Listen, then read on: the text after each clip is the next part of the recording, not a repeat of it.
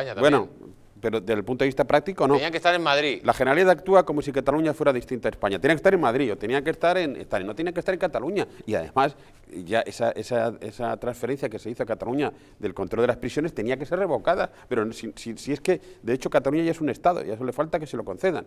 Y, y- y por- y esa doble legalidad teórica que hay en Cataluña en realidad es una, que es la, la ilegalidad catalana, que es la que predomina. El- la, la legalidad española cada vez es más débil y se va debilitando poco a poco, también a medida que los políticos como Sánchez van haciendo todo tipo de, concesi- de concesiones, eh, presionan a los jueces para que hagan ciertas sentencias, trasladan. Es tremendo, si es que estamos ya en un momento de disolución De del Estado muy avanzada. Des- desastre. Muy avanzado, si es que es avanzadísimo. y Ya, por eso digo que, y por eso hablo de Cataluña y de España, porque se está dejando que Cataluña actúe como un Estado.